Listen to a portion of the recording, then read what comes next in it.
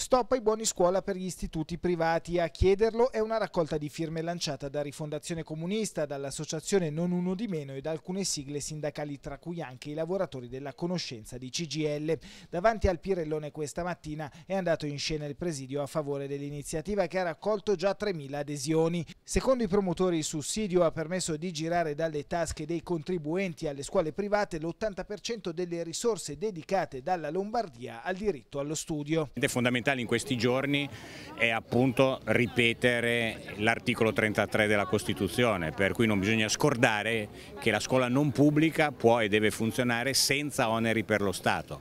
I promotori spiegano che il buono scuola si configura come un aiuto iniquo a chi ha già a disposizione risorse. Solo il 25% dei beneficiari dichiara un reddito inferiore ai 30.000 euro l'anno. Per questo, secondo i promotori, in un momento storico segnato dalla crisi sarebbe opportuno utilizzare le risorse a disposizione per potenziare la scuola pubblica gravemente colpita dai tagli. Noi abbiamo sempre fatto questa battaglia ma pensiamo che in questo momento ci sia una particolare sensibilità perché mentre prima solo era una questione di principio principio giustissima della difesa della Costituzione, dell'articolo 33, adesso diventa un problema vitale per le scuole che non hanno più fondi, la scuola pubblica non ha più fondi, eh, dopo la riforma Gelmini